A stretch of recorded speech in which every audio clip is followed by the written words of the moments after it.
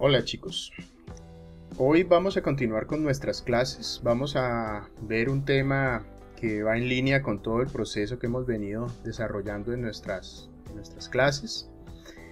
Eh, hoy estrenando digamos un fondo, un fondo de, la materia, en este caso estamos viendo un cardumen y una pradera de, de pastos marinos para estar acorde a nuestro, a nuestro tema de hoy. Vamos a ver hoy entonces el tema que se refiere a la productividad biológica. La productividad biológica pues es todo este conjunto de procesos que se dan dentro de la parte marina y costera, principalmente referidos a, la producción primaria. ¿sí? La producción primaria pues es toda la cadena biológica desde el punto de vista animal, vegetal. En este caso pues vemos una, imagen aquí, eh, un coral y, una, y una tortuga, probablemente sea una tortuga carey. Eh, en este caso, pues esto nos muestra que la biodiversidad a nivel marino, pues también es muy rica, inclusive se cree que es mucho más biodiverso el mar que la tierra, pero bueno, en términos de que hemos venido estudiando la materia, nos damos cuenta que hace falta mucha investigación. ¿Cuáles son las condiciones para que la vida se desarrolle en el mar? Recordemos que la vida en la tierra principalmente vino del mar. Entonces, por tanto, el mar eh, considera realmente que es una de las zonas donde nos desarrollamos, donde se desarrolla la vida y obviamente esa vida evolucionó y pasó del mar a la tierra. Aquí vemos entonces que nos dice la presentación, considere la principal reacción bioquímica para la vida en el mar y en la tierra. ¿sí? Esta es, digamos, la relación bioquímica o la fórmula bioquímica de cómo se produce o se desarrolla la vida alrededor de la Tierra, en este caso en el mar y en la Tierra. Nosotros vemos en cierta parte esta, esta fórmula. Recordemos que muchos de los seres vivos, o sea, nosotros somos seres, eh, en este caso nos dice la presentación, nos, debemos centrar en el lado izquierdo, que hay que verlo y lo vamos a entender en, en esta explicación de la fórmula. Antes les decía que los seres vivos, principalmente en la Tierra, somos desarrollados a partir del carbono. ¿sí? Eh, la vida biológica terrestre, digamos de pronto en otros planetas, en otros lugares, puede ser basada en otro, en otro elemento, pero en este caso en la Tierra, nosotros nos basamos en el carbono y obviamente la cantidad de carbono que tenemos disponible en los sistemas son los que permitirán en sí o no, digamos en mayor o mayor en menor o menor cantidad, perdón, la cantidad de desarrollo de, de los seres vivos. Entonces, en esta fórmula que vemos, nos dice la velocidad a la que tiene lugar esta reacción proporciona un control fundamental sobre la cantidad de la vida en el mar, obviamente también la vida en la tierra, pero principalmente estamos estudiando el mar. En este caso, pues la cantidad de disponibilidad de recursos va a ser limitada y principalmente el recurso que denominamos el carbón, ¿sí? el carbono orgánico. En este caso, el carbono orgánico, la cantidad de disponibilidad de, este elemento, pues permitirá que se desarrollen también en su, en su efecto una gran cantidad de elementos en los cuales se pueda, digamos, desarrollar una cadena en este caso pues los elementos vitales viven en, un sistema ya sea terrestre o marino pues en el sistema marino pues si tenemos una disponibilidad muy grande de carbono representado en elementos orgánicos, entonces tendríamos una riqueza. Por eso hay distintas partes en el mundo donde tenemos distintos niveles de riqueza marina. Más adelante lo veremos. Uno de los principales elementos dentro de esta cadena biótica es el fitoplancton. ¿sí? El fitoplancton es un conjunto de microorganismos ¿sí? que tienen la capacidad de hacer fotosíntesis. Así como en la Tierra, el principal organismo del, casi del, del que dependen casi todos los animales y casi todas las cadenas tróficas que encontramos a nivel terrestre, pues son las plantas.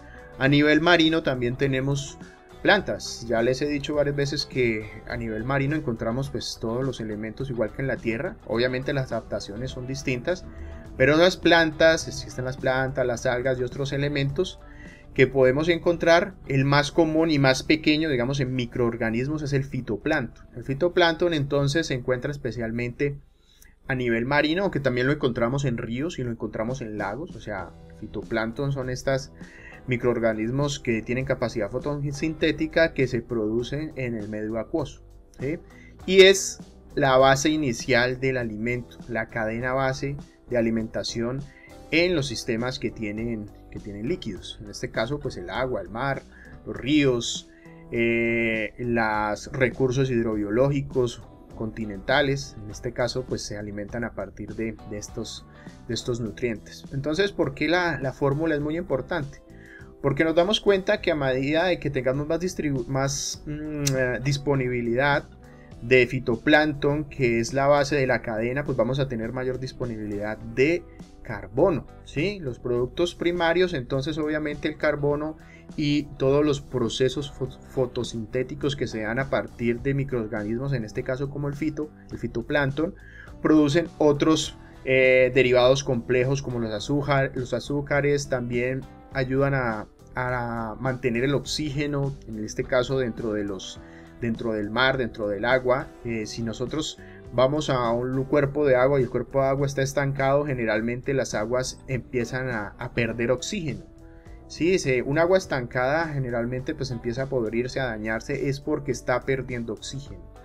En el mar, en los ríos, en los lagos, Generalmente, eh, debido a la presencia de, el fitoplancton y otros procesos, las aguas están con oxígeno, tienen oxígeno disuelto y de mayor o menor cantidad de oxígeno, pues vamos a, proveer que estas aguas tengan mayor capacidad de, mantener la vida. Si tenemos un lugar donde hay poco oxígeno, pues no va a haber posibilidades de que se desarrolle vida, digamos, en términos de animales, plantas, se pueden desarrollar, digamos, bacterias, principalmente bacterias anaerobias, pero esos son organismos, eh, digamos, procesos químicos que resisten a, esta falta de oxígeno y son, digamos, dependientes de, fenómenos de falta de, de oxígeno y son lugares donde habrá poca riqueza biológica o en términos, digamos, de producción primaria. Como vemos entonces, a nivel marino también existe una red, una red eh, en la cual alimenticia partimos desde el fitoplancton, el zooplancton, luego seguimos a los animales un poco más grandes y obviamente esos animales se alimentan de otros más grandes y así sucesivamente. En este caso, pues esa red de la comida o del alimento oceánico, pues es igual a la que encontramos en referencia en la Tierra. En la Tierra encontramos pues muchos eh, procesos, o sea, animales que se comen otros animales y seres vivos que dependen de otros seres vivos. En el mar pues obviamente tenemos este mismo proceso. Tenemos los productores primarios que son principalmente el zooplancton que es alimentado por, pues, se alimentan otros animales, otros microorganismos y así sucesivamente. Vemos los niveles tróficos en la cadena, eh, los, el zooplancton, eh, los peces, los distintos elementos, las medusas, algas. Bueno, tenemos una gran cadena que a la final pues alimentará a los animales que están en, la en el tope de la cadena, como digamos los grandes carnívoros como el tiburón u otros animales poco más grandes que obviamente no pueden sostenerse si no existe una riqueza marina porque generalmente pues dependen de todo este proceso. Entonces nos vamos a dar cuenta que la producción primaria en los términos marinos pues depende en gran medida de la cantidad de fitoplancton que encontremos y ese fitoplancton pues estará relacionado directamente con la fórmula que estábamos viendo que nos muestra principalmente la disponibilidad de carbono orgánico en el sistema. En este caso pues los términos de ese carbono y estas eh, poblaciones de fitoplancton, de zooplancton, de pequeños animales y de la cadena que sobrevive, pues va a permitir que se absorban los nutrientes. Principalmente entonces en el fito, el fito, eh, el fitoplancton es el que difumina a través de procesos químicos y otra vez y a través de los procesos biológicos celulares como los procesos de membranas semipermeables la absorción de los nutrientes. Si vemos entonces se da un proceso denominado difusión en el que las moléculas se mueven de, entre, de altas a bajas concentraciones a través de, eh, digamos, la permeabilidad de, las células. Eh, esto produce un flujo de moléculas a través de una, una membrana semipermeable o permeable dependiendo de, los organismos que, estemos eh, estudiando. Esto lo, vemos en, biología básica cuando vemos el proceso básico de la célula, pero en este caso es muy importante a nivel, eh, digamos, celular, a nivel molecular, los procesos sobre todo de difusión en el mar, que es donde se eh, da el proceso de absorción, el proceso de integración de estos elementos dentro de la, de la cadena trófica no solo son importantes, eh, digamos, no solo es importante el carbono, sino los nutrientes. Así como vemos en, la Tierra que hay nutrientes básicos para la vida y principalmente para el desarrollo de las plantas. Eh, en este caso, los, los nutrientes primarios o los elementos primarios para las plantas, pues son el nitrógeno, el fósforo y el potasio. Si nosotros tenemos un cultivo, si ustedes que han visto eafología o la parte de manejo de suelos, esos tres elementos son los elementos primordiales para poder desarrollar la vida, eh, digamos, vegetal. Si, si tenemos falta o, tenemos desajuste en esos elementos, pues obviamente los cultivos, las plantas no podrán desarrollarse de una manera eh, adecuada. Lo mismo pasa en el, en el mar. Obviamente tendremos disponibilidad o menor o mayor de carbono, pero también tendremos que tener disponibilidad de nutrientes. Y en ese caso, pues los nutrientes más importantes son el nitrógeno, el fósforo y el silicio. Obviamente el potasio también es importante, pero en este caso el nitrógeno, el fósforo y el silicio son los mayores nutrientes o digamos tres principales nutrientes que necesitamos tener disponibilidad dentro del mar. En este caso vemos un ejemplo aquí, un, mapa que nos está mostrando, o un mapa no, una, un gráfico a través de una distribución dentro de, las coordenadas del Ecuador y digamos el norte y el sur, cómo se distribuye la cantidad de fosfatos y de nitratos en el Océano Pacífico. En este caso pues vemos que a medida de que vemos del 0, 0 metros, o sea 0 metros sobre el nivel del mar a 5000 metros de profundidad, vamos a ver que la mayor disponibilidad o, eh, capacidad de, recursos va a estar en cierta medida en la parte superficial, ¿sí? En este caso, pues vemos que los sulfatos y los nitratos, a medida de que vamos eh, profundizándonos, pues vamos a empezar a perder esta, esta riqueza. Eh, los silicatos, entonces aquí estamos viendo una, gran eh, distribución. En este caso los silicatos son, son a la inversa. Vemos que hay una gran disponibilidad de los silicatos más hacia el fondo, más hacia la parte, eh, digamos, de, de las profundidades y obviamente dentro de estos procesos muchos de las, grandes de las grandes disponibilidades de recursos van a estar sobre el Ecuador. ¿sí? La gran mayoría de disponibilidad en términos de nutrientes las encontramos principalmente en el Ecuador o la zona ecuatorial donde tenemos los mayores flujos de energía, no solo a nivel biológico marino, sino a nivel digamos terrestre, tenemos el Amazonas, tenemos el Chocobio geográfico, estamos en los lugares donde hay mayor flujo de energía y de nutrientes, por esa razón pues hay gran biodiversidad. Y en la misma medida y en la misma lógica también tenemos la mayor biodiversidad en el mundo sobre las zonas ecuatoriales intertropicales. En este caso porque tenemos una disponibilidad de nutrientes que son, digamos, mucho mayores en, este, en estos puntos. Entonces aquí nos dice que el NP y el silicato se agotan primero en la ecuación en las aguas superficiales. ¿Durante cuál proceso? La fotosíntesis. ¿Por qué? Porque estos mismos procesos son, eh, en el caso como les mencionaba, de los procesos terrestres, pues necesitamos principalmente nitrógenos y, y, fósforos para poder hacer eh, el proceso de fotosíntesis. El potasio pues ya tiene que ver con otros procesos un poco más relacionados con los troncos de las plantas, la, digamos, eh, la fijación de otros elementos. Entonces no es tan importante en el mar, pero sí el silicio. En ese caso, pues eh, nos permite hacer el crecimiento del fitoplancton, desarrollarlo, digamos, en, en, gran medida.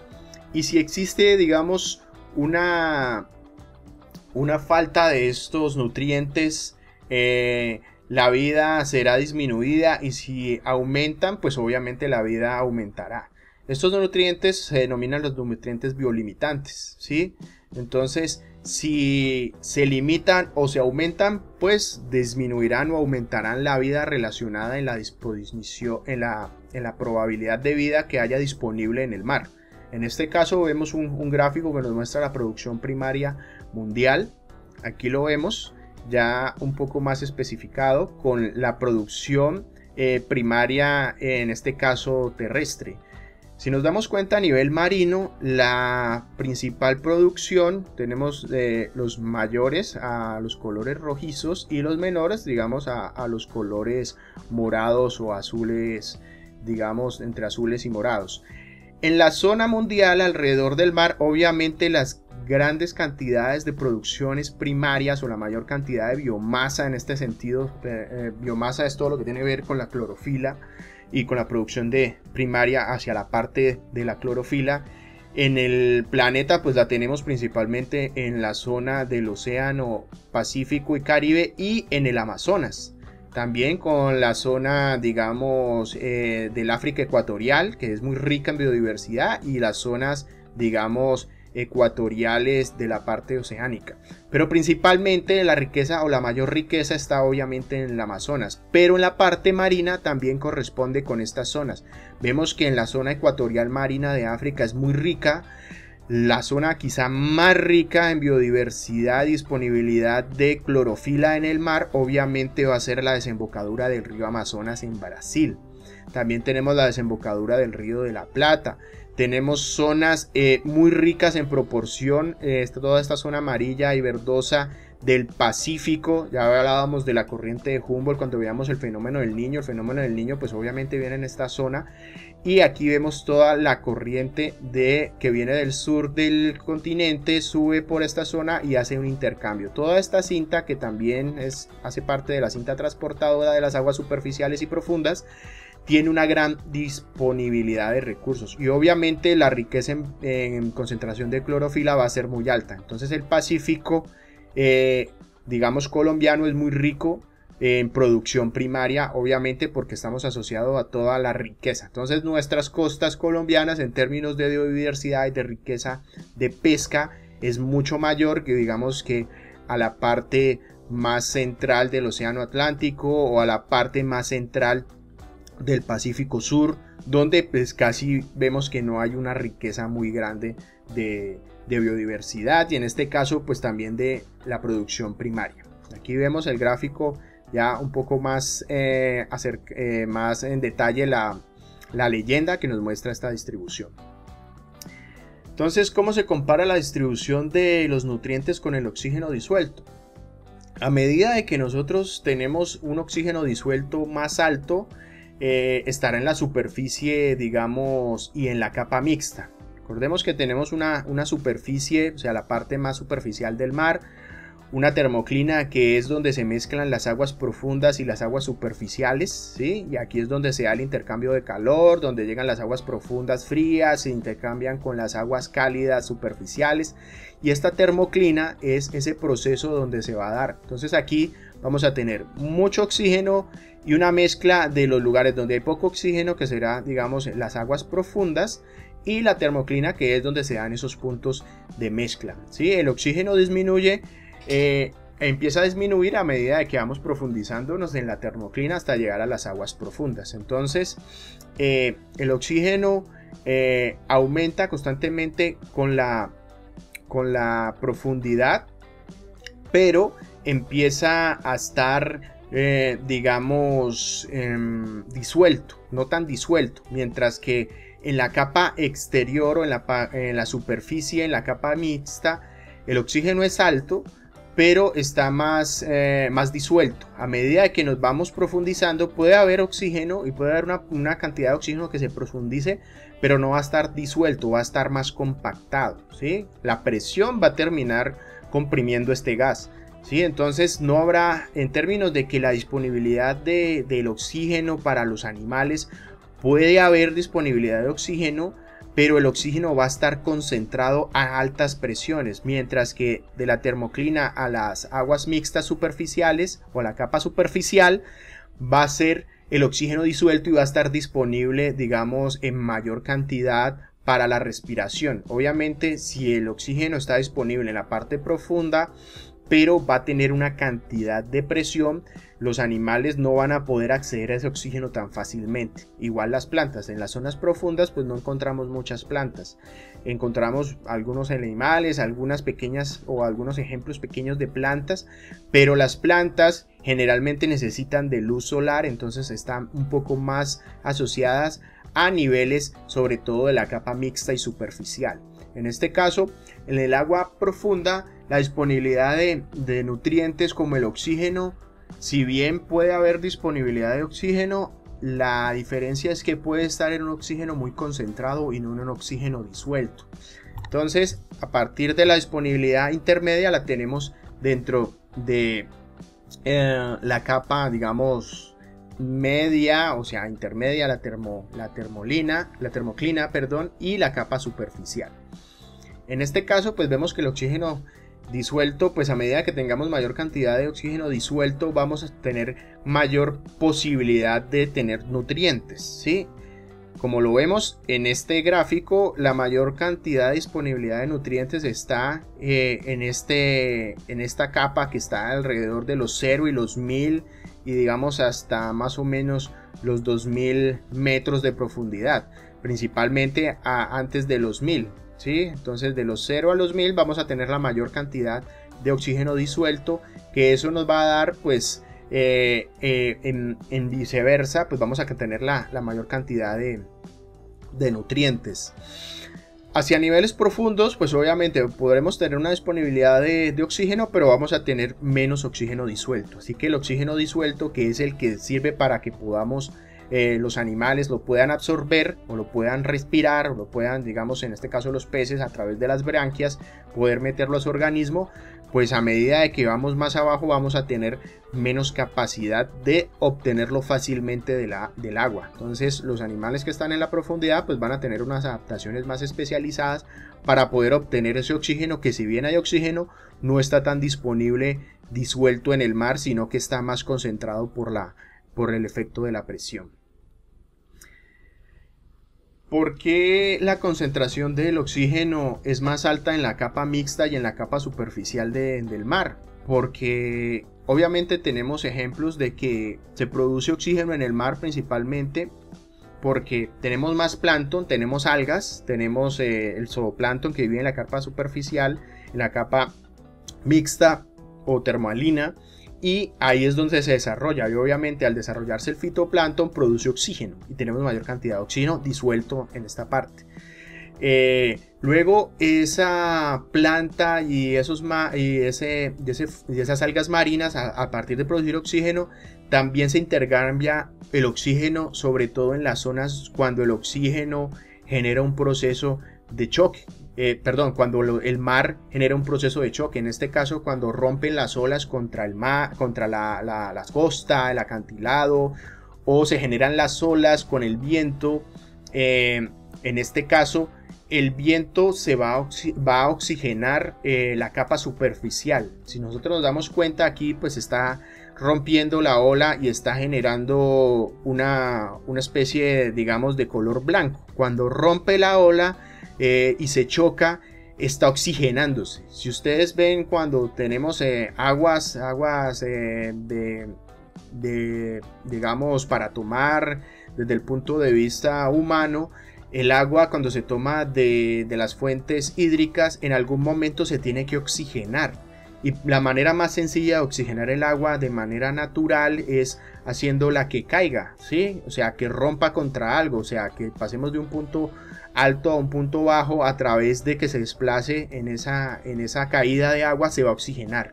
Entonces cuando la, el flujo de agua choca contra algo y digamos eh, se rompe o cae y produce este efecto digamos blanquecino es porque está absorbiendo o está oxigenando eh, el agua. Entonces lo mismo lo vemos eh, con las fuentes de agua. Las fuentes de agua en muchos lugares son para no solo para, verlas desde el punto de vista de que puede generar eh, una, sensación de, frescura y digamos eh, también de, de, manera de, de diseño en términos de urbanísticos de, la parte del paisaje urbano que sea mucho más, más bonito, sino que el agua que generalmente vemos en las fuentes públicas procede para hacer el proceso de oxigenación, para que el agua no quede estancada. Las aguas estancadas entonces pierden, pierden oxígeno y si las aguas están en movimiento y generalmente en turbulencia chocando, van a oxigenarse.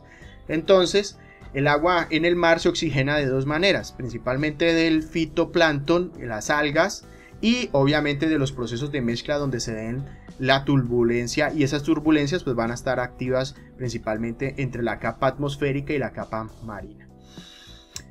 Eh, ¿Cómo se elimina el oxígeno de la termoclina y un, poco más y un poco más abajo? Pues entonces, a medida de que vamos descendiendo, si bien va descendiendo el oxígeno disuelto, va también oxidándose o perdiendo la capacidad de que los animales generalmente, mm, digamos, los animales mueren, eh, los animales que tenemos en, la parte marina mueren, pues obviamente van cayendo al fondo y obviamente van a generar un proceso de deterioro. En ese deterioro generalmente van a perder oxígeno, ¿sí? Y el oxígeno pues va a empezar a ascender va a verse disuelto o va a verse presionado por la cantidad de presión y a medida que vamos llegando a niveles más profundos pues vamos a tener menos oxígeno disuelto. El menor oxígeno disuelto pues va a hacer que eh, a medida de que caigamos en el fondo marino digamos los cuerpos o los animales eh, no se van a, deteriorar tan fácil o tan rápidamente como si se eh, deterioraran en una parte superior debido a que la mayor cantidad de oxígeno va a acelerar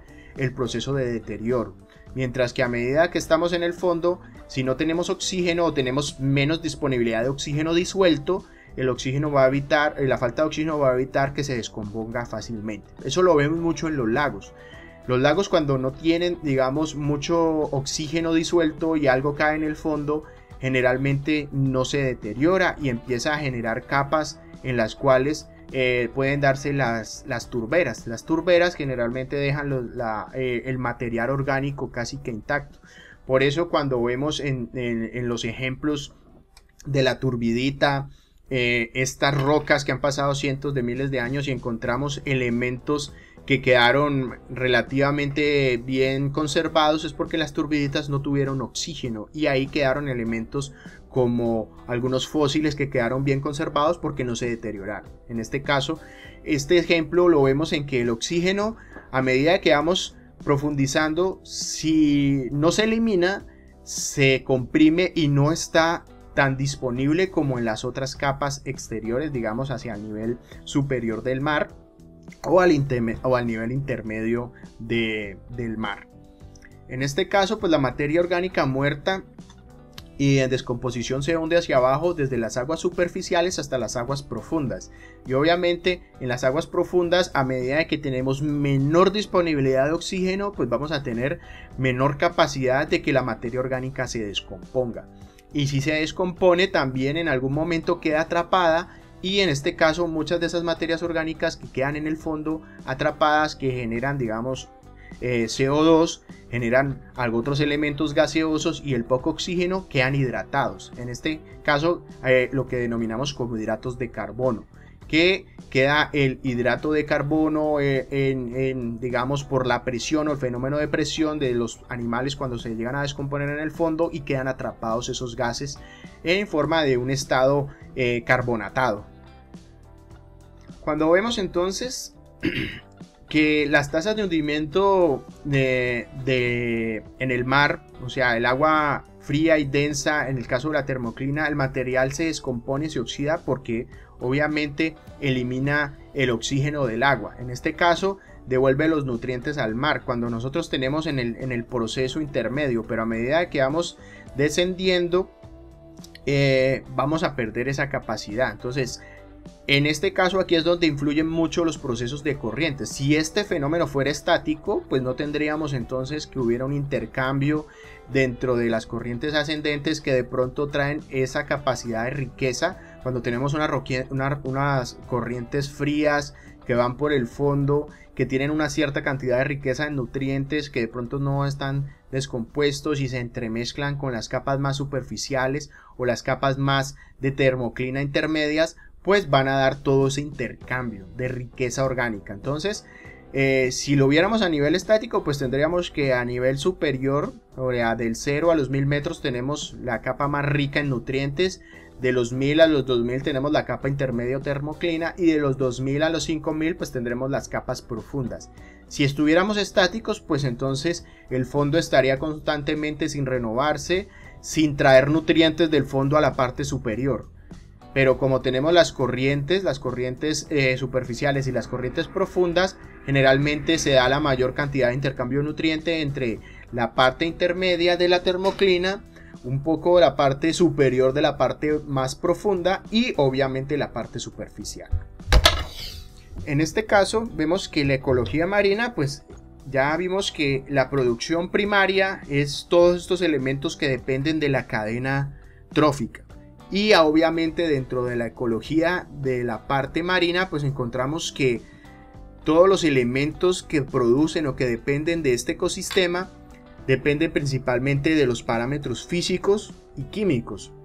Físicos pues porque tenemos presiones, porque tenemos densidades, tenemos materias eh, disueltas, en este caso sales, y tenemos todos los procesos químicos y bioquímicos a partir de la disponibilidad de recursos. Entonces, los parámetros físico-químicos son los que afectan principalmente la disponibilidad de los recursos primarios y en ese ecosistema pues va a haber una cantidad de aprovechamiento o no y obviamente habrá una cantidad de recursos disponibles o no. Y eso permitirá que obviamente haya zonas con mayor habitabilidad y que terminarán teniendo digamos una mayor riqueza. Tenemos un ejemplo que pues los más ricos son los, los marismas, los estuarios, los arrecifes de coral, las zonas donde encontramos los giros en, la parte pacífica también son ricas, los procesos donde se dan las urgencias que tienen que ver sobre todo con las corrientes profundas marinas. En este caso nosotros el medio ambiente marino lo podemos clasificar desde el punto de vista horizontal de nerítico y oceánico y desde el punto de vista vertical, o sea, haciendo un corte, digamos, transversal en el mar, si lo cortáramos, entonces de arriba a abajo tendríamos eh, el hipipelágico, el mesopelágico, el batipelágico y el avispelágico. ¿sí? Entonces uno hace referencia a la parte superior, otro a la parte media y otra parte, digamos, más profunda. Y otro pues ya a la parte muy profunda, básicamente los, las zonas abisales. Aquí vemos entonces esa división, como la vemos en la Tierra, cuando nosotros vemos entonces las zonas, si lo vemos en el punto de, términos de, biodiversidad, como las zonas de vida, entonces tenemos zonas, digamos, eh, con la parte más baja, en esto si lo vemos en el término como vegetal, entonces tendríamos las zonas de los bosques, las nieves perpetuas, los páramos, las zonas, digamos, más bajas o bosque tropical, ¿sí? Esto lo podríamos subdividir dependiendo a medida de la relación de la temperatura, digamos de la ubicación geográfica. Obviamente no es lo mismo estar a 0 metros sobre el nivel del mar que estar a 5000 metros. Vamos a tener un rango altitudinal que nos va a definir ciertas formas de vida, principalmente debido a la relación de la temperatura, la precipitación, la altura. Entonces, a nivel marino también encontramos este tipo de, subdivisiones. ¿sí? Aquí vemos entonces la zona litoral, que está entre la zona litoral y sublitoral, que es la zona nerítica, si lo vemos en términos, digamos, eh, longitudinales. A partir de la zona litoral o la zona costera hacia la parte marina, pues ya tenemos la zona oceánica. Entonces, esta es nuestra primera división, la zona del mar abierto y la zona de turbulencia donde llega al litoral y tenemos este intercambio. Entonces, la zona sublitoral y litoral ah, pertenece a la zona nerítica y todo lo demás está desde el punto de vista oceánico. Ya cuando lo vemos hacia abajo o hacia arriba, dependiendo de cómo lo veamos, vamos a ver que hasta los 200 metros de profundidad tenemos la zona epipelágica, tenemos la zona mesopelágica hasta los 1000, la batipelágica hasta los 2000, la abisalpelágica hasta los 4000 y la zona digamos adalpelágica o más profunda estará alrededor de los 6000 a los 7000 pues inclusive mayor mayormente. En este caso, La zona béntica que también se subdivide, hay que tener en cuenta varias cosas. Uno es el, eh, el, agua, digamos, el océano y la zona litoral donde tenemos el agua, pero sobre el fondo marino, ya sea el fondo litoral o el fondo marino como tal, tenemos las, las zonas bénticas, porque hay muchos animales que viven en el fondo marino. Un ejemplo que vemos en, los fondos marinos, sobre todo litorales, son los cangrejos. Los cangrejos pues viven en esta zona y ellos se entierran en el fondo y habitan esta zona litoral.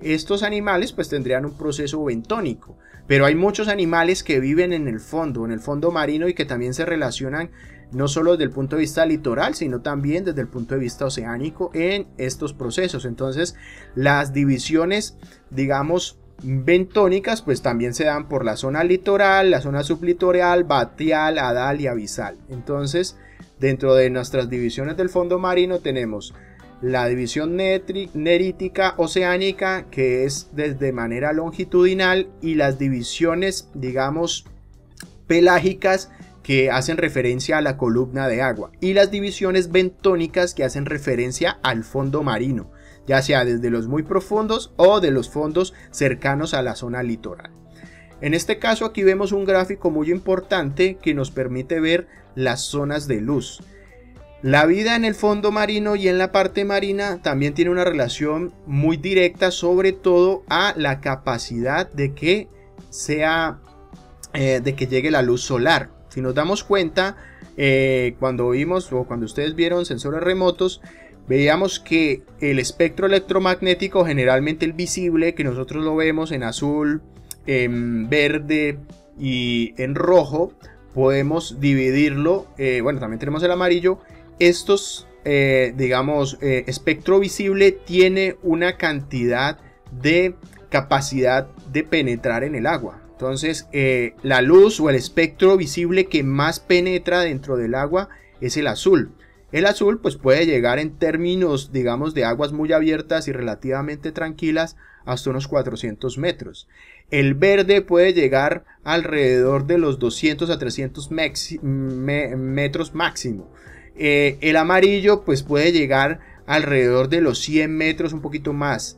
El rojo pues está de los 0 a los 100 y obviamente tenemos la luz ultravioleta que va de los 0 a 100. En este caso entonces la mayor capacidad de penetración de la luz y donde se desarrollará la mayor cantidad de vida y a la que le llamaremos de pronto la parte más externa o la zona donde se dan las aguas más superficiales es donde generalmente está la mayor cantidad de producción primaria debido a esto, de que tenemos la influencia de el espectro electromagnético en su totalidad. A medida que nos vamos profundizando, pues vamos a tener menor capacidad de la influencia del campo electromagnético y obviamente esto traerá pues distintos elementos que disminuirán en cierta medida también la producción primaria. ¿Por qué? Porque si tenemos plantas, pues las plantas necesitan de la luz solar para poder producir, eh, en este caso, sus procesos fotosintéticos. Y obviamente si no tenemos luz, pues va a ser muy difícil. Y a medida que estamos en mayor profundidad, pues vamos a tener menor capacidad de hacer fotosíntesis. En este caso, esto también es muy importante ver cómo se subdivide el fondo marino. Entonces, si lo vemos en resumen, tenemos las divisiones por los fenómenos o las zonas de luz, tenemos las zonas bénticas que hacen referencia al fondo, las zonas pelágicas que hacen referencia a los mares o a la columna de agua y la zona nerítica y oceánica que hace referencia digamos a la parte longitudinal de que nos separa la zona oceánica digamos de la zona costera como tal.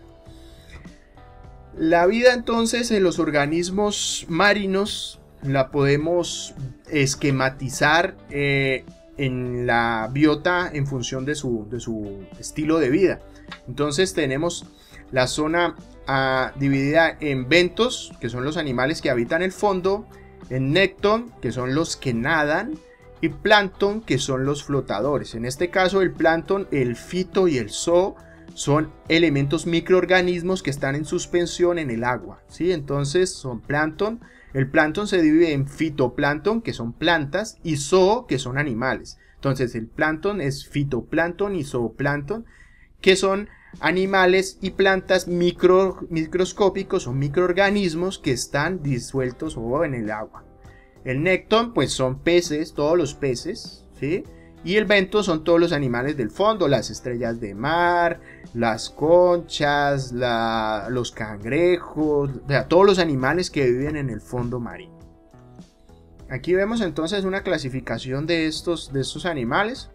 Vemos entonces lo que yo les explicaba a nivel de, de, los ventos, pues entonces los animales que utilizan el fondo marino para desplazarse, para vivir, para reproducirse, generalmente cangrejos, caracoles, todos los que utilicen generalmente el fondo para vivir. Aquí tenemos las langostas también. Las langostas pues son unos animales mm, en teoría como carroñeros porque en el fondo ellos generalmente se alimentan de todos los peces y todos los animales muertos que caen a los fondos. Muchos de los animales bentónicos son carroñeros, ¿sí? Entonces ellos descomponen muchos de los animales y de los elementos que caen al fondo.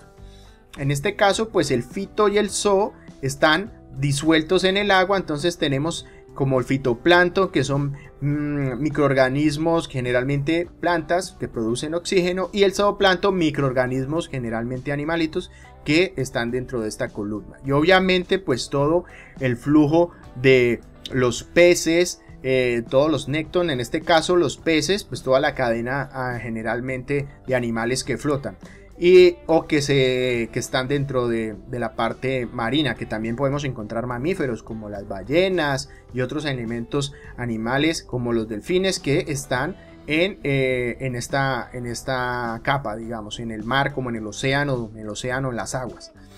Y esos son los tres, digamos, tipos de organismos. Los, el plancton entonces son nadadores débiles, ¿sí? recordemos que el plancton son animales, son incapaces de contrarrestar las corrientes. Y aquí pues podemos tener muchos de estos micro, microplancton o elementos que son muy parecidos a, por decir algo, a los mariscos. Son unos micromariscos generalmente el plancton y son la cadena básica de alimentación. Generalmente el fitoplancton se alimenta del zooplancton y el zooplancton se alimentan animales como eh, digamos las mm, las, algas, las algas también no en cierta manera están aquí pero digamos animales más pequeños que se alimentan de ellos y a su vez se alimentan los peces de ellos y los peces pues se alimentan otros peces más grandes y así sucesivamente. El nécton entonces son los nadadores activos capaces de contrarrestar la corriente, en este caso pues son peces, calamares, reptiles, aves, mamíferos, pues toda la biodiversidad. Recordemos que hay muchas aves que viven eh, y directamente del proceso marino. ¿sí? En este caso hay aves que se clasifican como nécton. Mm, en los más comunes y más conocidos serán los pingüinos. Los pingüinos, mm, pues, si bien anidan y están viviendo su vida eh, en, la zona, digamos, terrestre, pero son eh, muy buenos nadadores y nadan y digamos, se alimentan principalmente del sistema marino. En este caso, estos animales están considerados como nectones, eh, mm, aves nectones, mm, porque están dentro de la cadena biológica y están dentro de la cadena biológica porque se alimentan de los peces. En este caso, pues ellos hacen parte de la cadena trófica. Eh, muchos de estos animales también hay una cierta cantidad de aves, sobre todo las aves costeras, porque si vemos hay aves que encontramos en la zona marina, que viven directamente del mar, que no viven de la tierra, viven principalmente de la pesca de animales, eh, digamos, a las aguas abiertas o de las zonas intermareales alimentándose de animales bentónicos, o sea, del fondo o que están en el, eh, flotando en el mar. Entonces, hay muchos animales, no necesariamente tienen que vivir dentro del agua, pero son capaces de nadar como las aves, eh, aves muy adaptadas como los pingüinos, que son especializados en, la parte marina, eh, principalmente en nadar. Entonces, los eh, estilos de vida marinos se distribuyen alrededor del mundo en términos de que el 16.7% de los animales de la Tierra son marinos, o sea, los que están en el proceso intermedio, o sea, animales que están sobre la zona costera, dependen directamente del mar. Ya lo vemos en las aves, lo vemos en las tortugas, lo vemos en algunos reptiles que viven sobre la línea de costa y si no tuvieran esta relación, pues obviamente no podrían vivir. El 2% de los habitantes de, de, la parte marina pues están en los ambientes pelágicos. En la mayoría de los océanos son muy profundos y oscuros. O sea, ya nos damos cuenta, ya hemos visto cómo se distribuye, digamos, el fondo marino alrededor del mundo. Tenemos una gran cantidad de áreas muy profundas en el mundo esas áreas muy profundas, ya lo veíamos en el ejemplo de la distribución de la riqueza marina, pues también tiene menor riqueza, entonces obviamente hay menor cantidad de animales. Y el 98% de los animales y de los, digamos, estilos de vida que encontramos a nivel marino son bentónicos, son los que están sobre el fondo. Y en este caso, esos fondos son los que nos van a dar la mayor cantidad de biodiversidad. Entonces encontramos las estrellas marinas, todos los elementos naturales que encontramos en los corales. Todo esto depende obviamente del sustrato, del fondo. Y todos estos elementos, si tenemos, digamos, ese 2% de animales pelágicos que están, están en el agua disuelta como tal, en el mar, en el océano, nadan por ahí, la gran mayoría de los elementos que hay en el mar no están, digamos, flotando, sino que están sobre el, sobre el fondo. Entonces la riqueza marina está muy enfocada en que el fondo marino, o sea, la parte bentónica, son los que mayor riqueza tendrá. Eh, en la parte bentónica entonces nos dividimos en la epiflora y en la epifauna, que son los que viven en el fondo, ¿sí? Entonces epiflora, obviamente flora, y fauna, pues animales en este caso. La infauna entonces vive en el fondo del mar, generalmente está asociada a otros elementos, sobre todo, mm, digamos, eh, que dependen de, los procesos eh, químicos o bioquímicos. Las plantas bentónicas están restringidas principalmente a eh, la poca luz. O sea, ya vimos que hay diferencia o diferente capacidad de penetración de la luz solar y dependiendo de la profundidad donde nos encontremos, pues vamos a encontrar algunas plantas que van a tener distribución y van a tener, digamos, restricción. Los animales eh, bentónicos están en todas partes del mundo, generalmente asociados a los fondos y los fondos marinos los encontramos desde el borde de la playa. En la playa encontramos animales bentónicos que se dan en ese proceso intermareal. Eh, si ustedes ven las rocas, entonces en las rocas vamos a encontrar biodiversidad, vamos a encontrar algas, vamos a encontrar conchas, eh, cangrejos, bueno, hay una gran cantidad de animales que van a estar difuminados por toda esta zona y de ahí hasta los fondos marinos pues van a haber animales de todo tipo. Aquí vemos ejemplos, quizás de los más conocidos vamos a tener las estrellas de mar, pero te tenemos los pepinos de mar, los corales, las, las eh, anémonas y todos los animales bentónicos. En este caso también las algas, el kelp, que es una especie de alga muy utilizada y, es eh, muy utilizada en la comida asiática. También eh, los pepinos de mar. Bueno, hay una gran cantidad de animales bentónicos. Esto está asociado principalmente a que en el mar también pues tenemos una restricción que está asociada a la presión, ¿no? Entonces eh, la diversidad marina la vamos a encontrar obviamente en donde tengamos menos efecto de la presión, porque la presión pues va a causar que solo ciertos animales que se adapten a esta cantidad de presión pues van a poder vivir y desarrollarse. Aquí vemos una tabla que nos muestra la profundidad en metros y las atmósferas. Recordemos que una atmósfera es la, presión atmosférica que tenemos sobre, sobre el lugar. En este caso, a nivel marino, pues vamos a tener que a 10 metros de profundidad vamos a tener una presión de una atmósfera. A 20 metros, 2 atmósferas, a 33 y así sucesivamente hasta llegar, digamos, a los 130 metros vamos a tener 13, 13 atmósferas. Obviamente a medida de que vamos eh, profundizándonos, pues esa atmósfera que tenemos encima, porque no solo tenemos el agua, vamos a tener aparte del agua toda la, atmósfera referida principalmente a la atmósfera aérea, ¿sí? a los gases. Entonces, si estamos sobre el mar a 10 metros, tenemos los 10 metros de mar más todo el efecto de la presión atmosférica que tenemos de la, de la parte atmosférica exterior. A medida que nos vamos profundizando, pues esa presión va a ser cada vez mayor. La presión es causada por la altura del agua, ¿sí? En función de la altura, pues tenemos la densidad. Y obviamente la presión generada aumenta a, medida de que vamos profundizándonos y vamos a tener mayor presión. Por eso cuando los nadadores o las personas que nadan pues van nadando a mayor profundidad, su cuerpo se va comprimiendo y el efecto de compresión en la sangre pues va a hacer que principalmente el hidrógeno se comprima y al comprimirse pues eh, va a generar un proceso que es muy peligroso sobre todo cuando se nada o cuando se hace buceo. ¿Por qué? Porque cuando uno baja la misma presión el oxígeno va a presionarse en el cuerpo y a medida que nosotros nos devolvemos ese, ese oxígeno perdón, y ese hidrógeno que se comprimieron se van a descomprimir. Y si uno no asciende de una manera que el oxígeno y el hidrógeno se disuelva en la sangre, si uno sube muy rápido puede generar que el oxígeno y el hidrógeno no se, no se descompriman tan rápido y llega un punto, eh, o no se descompriman, digamos, de una manera muy regular, y llega un punto que si uno asciende muy rápido, el oxígeno y el hidrógeno se van a disolver muy rápido y eso causará burbujas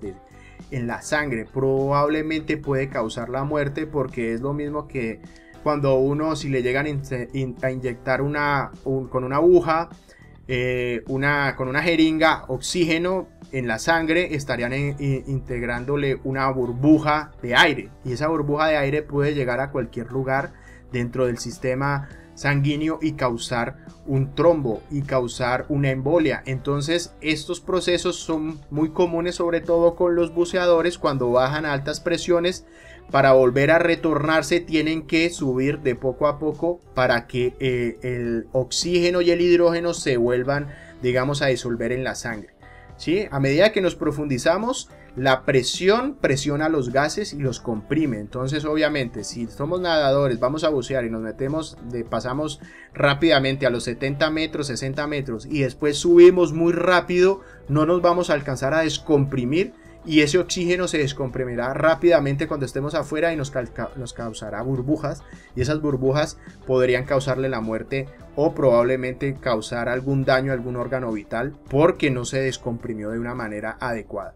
Eso es, digamos, los principales riesgos que tienen el problema de, de la presión hidrostática. Pero entonces esa presión también va a medir o va a restringir cómo los animales se, mueven y cómo viven. Entonces, obviamente los animales de mayor profundidad en el mar viven ahí, pero son animales que están adaptados a la presión y que, digamos, tienen una regulación en su cuerpo, no manejan, digamos, una relación de gases como la manejarían otros animales que están más arriba. Generalmente los animales para frutar, como los peces o algunos mamíferos, tienen una regulación de los gases de su cuerpo que los permitirán flotar, subir o bajar cómo funcionan los submarinos. Los submarinos funcionan en, relación del gas que tienen comprimido y el, eh, digamos el agua de lastre que también manejan y hacen una regulación para poder eh, sumergirse o para poder hundirse.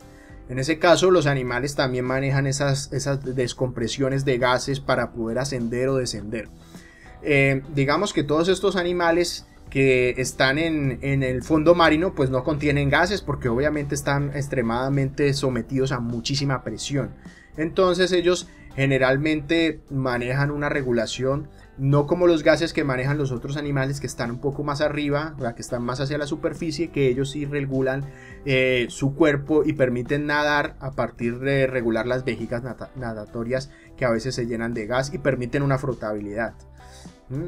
Entonces, muchos animales del fondo son incapaces de moverse rápido, porque obviamente son lentos, generalmente no hay muchas corrientes en el fondo y son, digamos, eh, mm, muy asociados a que sus movimientos deben ser lentos debido a todos estos procesos.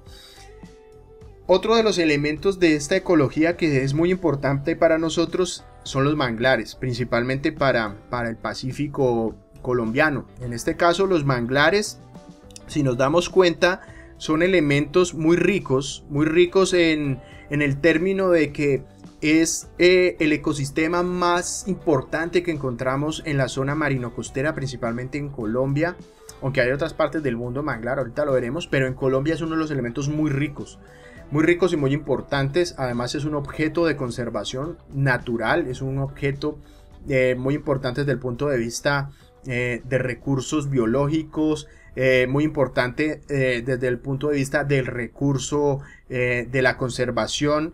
Es, ya les decía, es un objeto de conservación para los parques nacionales y para las áreas de, de reserva del país. Entonces los manglares que son son formaciones vegetales arbustivas y arbóreas que ocupan terrenos de relieves de planos y de zonas fangosas. Generalmente están en fenómenos de periodicidad de inundación o están parcialmente inundados o se inundan en periodos frecuentes de lluvias o de mareas, o están en ese proceso.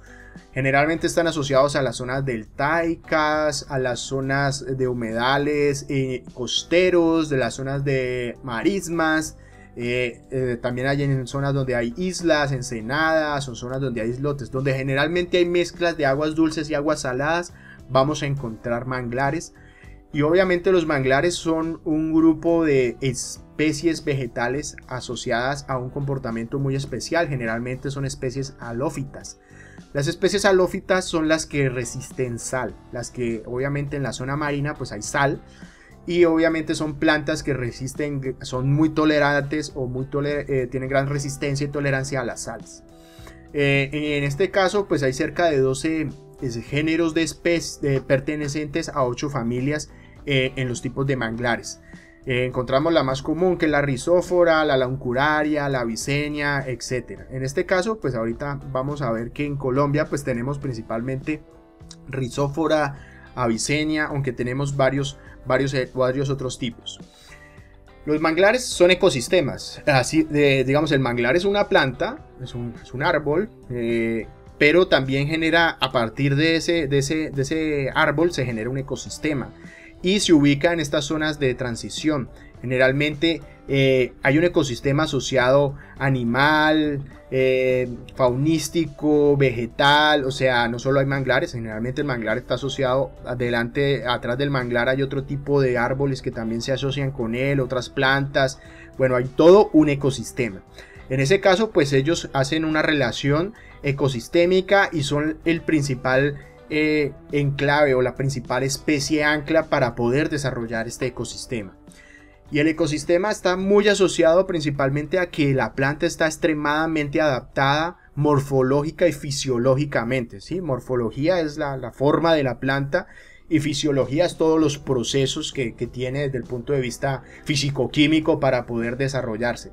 En este caso, pues eh, tiene presencia de raíces, digamos, eh, especializadas, zancos o raíces tabloides, utiliza hojas de, que secretan sales, ¿sí? Eh, el manglar, si ustedes en algún momento pueden visualizarlo, cuando a una zona donde vean los mangles, los mangles generalmente en las hojas van a tener sales, ellos generalmente excretan la sal hacen un proceso obviamente eh, físico-químico y terminan excretando sal. Entonces tienen hojas especializadas. Tiene poros eh, para poder respirar desde, desde, la raíz hasta la parte más exterior, eh, adaptados para poder respirar a medida de que cambia o sube la marea. Son raíces especializadas, los neumatoforos, que son generalmente las que están afuera del manglar. Aquí las podemos ver. Son estas esta especie de, palitos. Estas son estas raíces especializadas que tienen los manglares.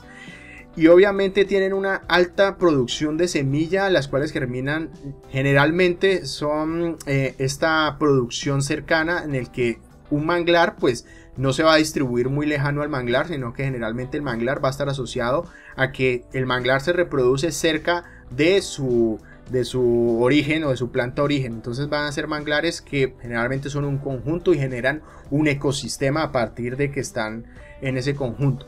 Pero también tienen la capacidad de que si está no está tan inundado y o, perdón, si está muy inundado, entonces pueden flotar. Y a caer en el mar o en el agua pueden flotar y se pueden llegar a otros lugares y ahí, eh, digamos, eh, emposarse y empezar a desarrollarse las plantas. Generalmente los manglares son unos elementos muy resistentes. Obviamente aquí vemos el ejemplo que yo les decía de la hoja, la hoja que produce la sal. Ustedes van a darse cuenta que en las hojas del manglar siempre van a encontrar, muchos encontrar sal. ¿Qué tipos de manglares encontramos? Encontramos los manglares de bordes que están situados a lo largo de los márgenes de las costas o de las islas grandes. Generalmente están expuestos a las bahías abiertas y reciben el oleaje de frente. Y obviamente son uno de los elementos que mm, más resisten la sal. Y obviamente ellos están netamente asociados muy fuertemente a directamente recibir aguas saladas. Pueden recibir aguas dulces, pero tienen una gran resistencia, sobre todo este tipo de manglares que están en el borde. Los manglares de islote entonces son los que generalmente están en islas eh, de las costas, están creciendo muy asociados a los arrecifes. Y Muchos están, como lo vemos en este caso, sobresaliendo sobre el nivel del mar o están en las zonas donde se dan procesos generalmente dinámicos o morfodinámicos como islas de barrera, islotes de barrera. Muchos de estos en el Pacífico los vemos asociados a las zonas de las eh, islas de barrera temporales o las zonas de barrera o donde se generan barras generalmente medianamente consolidadas como para dar tiempo para que estos manglares se desarrollen. En el Pacífico son relativamente comunes. Eh, también tenemos los manglares de cuenca, que son los que ocurren en depresiones topográficas con algún flujo de agua. De pronto estos son los más asociados a zonas de laguna costera o zonas, digamos, más estuarinas en las que podemos encontrarlos, ¿sí? En una zona donde la cuenca, esta pequeña cuenca, generalmente se inunda por procesos de agua o de lluvia, entonces puede estar eh, por esos flujos de remanso de agua, de aguas, de ríos, de inundaciones muy asociados. Estos son muy comunes sobre todo en la zona costera del Caribe. En el Pacífico también los encontramos, pero en el Caribe ya digamos que son un poco más comunes. Eh, también encontramos los manglares ribereños, que son quizás los, los, más comunes, sobre todo en las zonas costeras, cuando tenemos la entrada de un delta o tenemos la entrada de un río. ¿Sí? En este caso, pues generalmente están asociados a las zonas de aguas eh, de escorrentía directa de los ríos sobre el bosque ripario. El bosque ripario, digamos, del río viene del interior del continente y el bosque ripario va a llegar hasta un punto. Y en ese ripario que ya va entrando, llegando a, la zona marina, generalmente vamos a encontrar los manglares. Ya no va a haber árboles normales de los que encontramos anteriormente, sino que va a haber bosques especializados, generalmente manglares asociados a ese eh, reflujo entre el agua salada y el agua dulce que se puede dar en toda esta zona.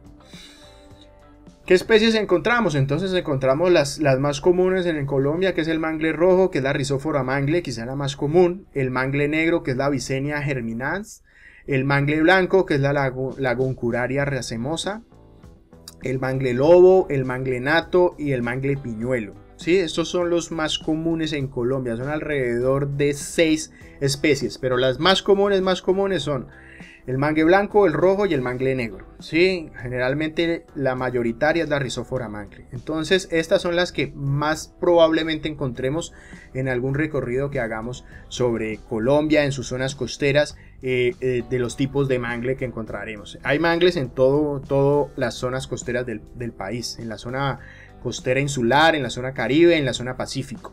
Aquí vemos la distribución de las zonas de manglares en el mundo. ¿sí? Obviamente el manglar está muy asociado a la zona ecuatorial, a la zona intertropical, en los flujos de energía mayoritarios y en la riqueza y en la producción primaria.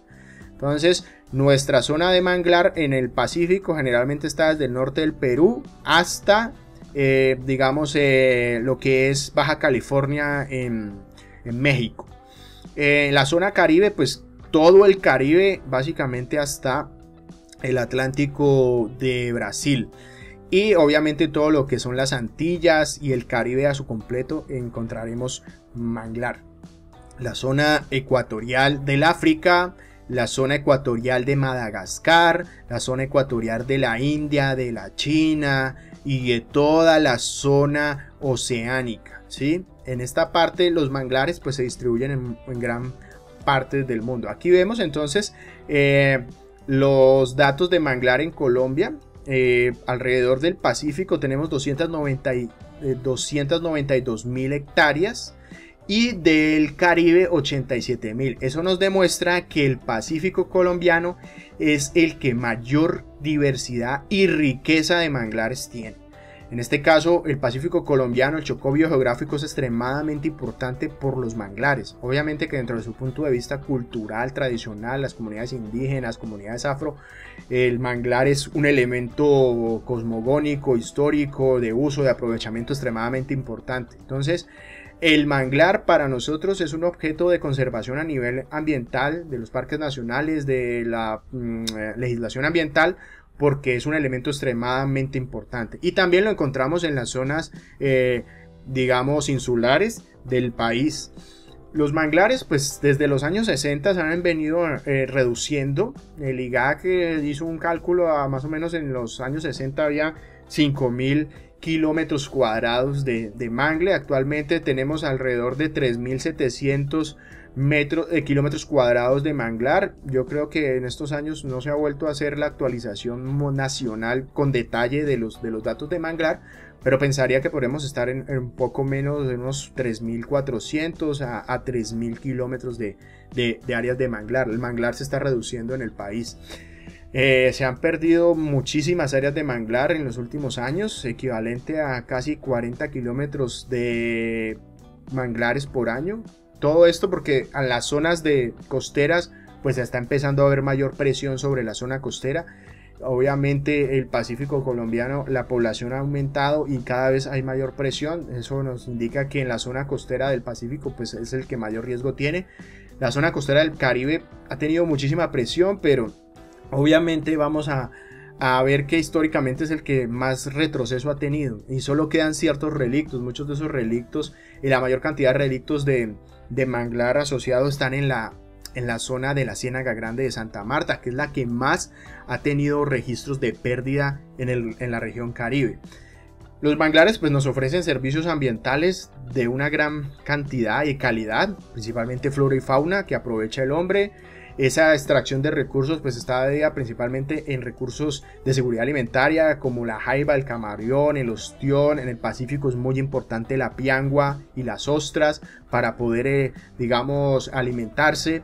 La madera, que también se utiliza mucho para construcciones, generalmente las construcciones palafíticas utilizan mucha, eh, digamos, madera de manglar, porque obviamente resiste la sal y, y todos los, los, procesos costeros. La utilizan para construcción, para hacer aparejos de las canoas, etc.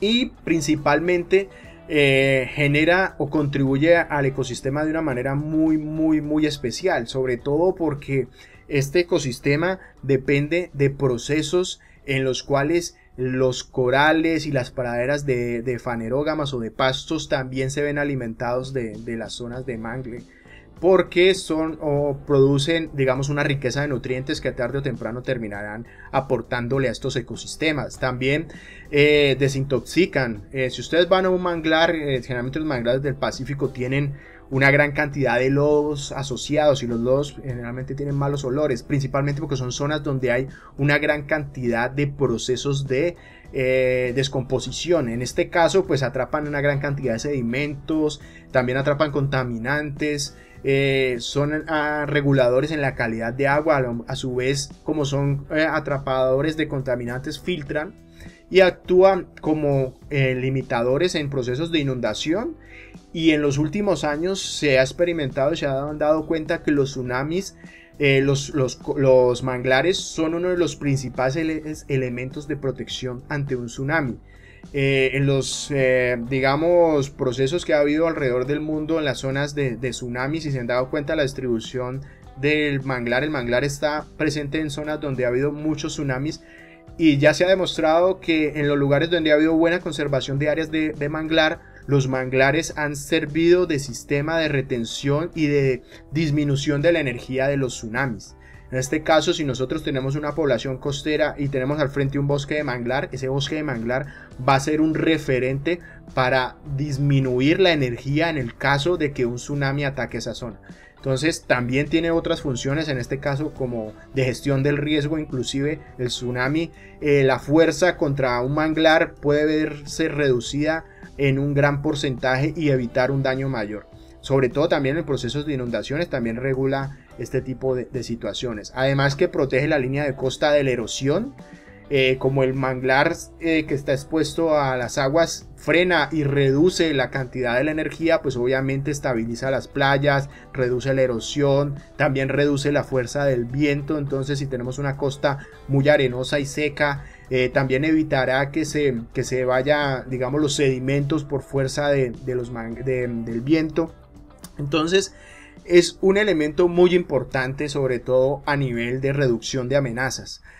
Obviamente que estamos eh, enfrentados con las zonas eh, de manglares en el país en un deterioro y una destrucción constante, principalmente por la expansión turística, por los asentamientos urbanos, por la canalización, la creación de puertos, la extracción minera y de recursos, todo lo que tiene que ver con la frontera agrícola la expansión en las zonas del Pacífico se está haciendo mucha expansión de cultivos de, mm, en cierta manera, de cocos y cultivos de de aceite de palma o de palma, palma de aceite que se cultiva principalmente en estas zonas, entonces también trae ciertos procesos.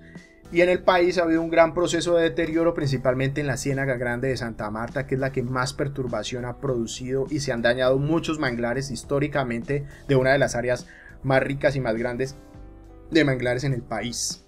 Muchísimas gracias.